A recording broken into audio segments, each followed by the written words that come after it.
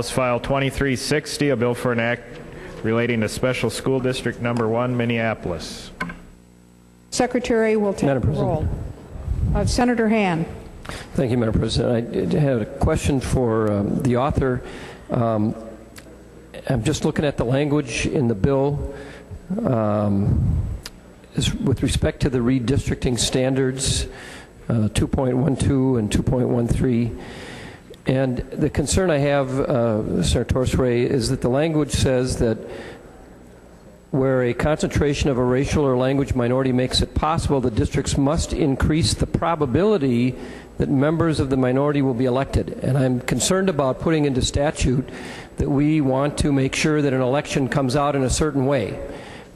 And I, I, I'm not sure, I understand what, what the intent is, but I think that language is, sent, to me, it sends a very negative signal to the people of the state of Minnesota that we as a legislature are, are in the business of trying to determine the outcome of an election. And I'm just wondering whether or not uh, that was the intent. Apparently, there's no response, Senator Hann.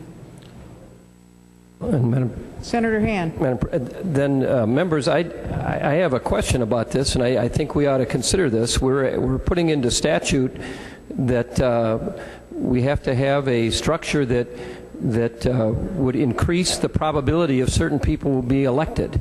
I'm not aware of any other statute in law that makes this kind of a, of a statement.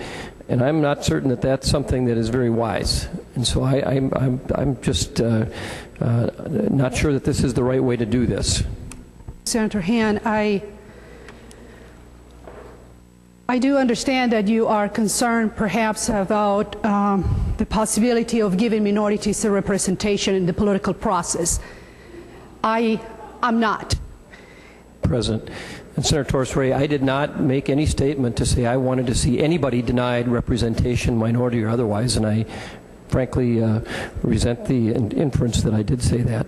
But what I am concerned about is in the course of this bill, it does say in law that the districts have to structure them so that it increases the probability that some people will be elected rather than others. And I don't think that is the right mechanism to do this. I think it's it makes some assumptions that I think are objectively false. I think it sets a very bad precedent in election law that we're going to decide as a legislature what what kind of representation we want by making sure the districts are drawn to favor one group or one uh, section rather than another. I, I, think this is not the right way to do this. And so I'm just uh, raising the issue. It has nothing to do with representing uh, children. It has nothing to do with the school board doing a good job of trying to represent the members of its community. I think it has everything to do with putting in law that we are going to mandate that the districts be drawn so that there is a and this is the quote, must increase the probability that members of the minority will be elected. I think that kind of language is not correct, and we should not put that into statute. All senators having voted, the secretary will close the roll. There being 41 ayes and 26 nays, the bill is passed and its title agreed to.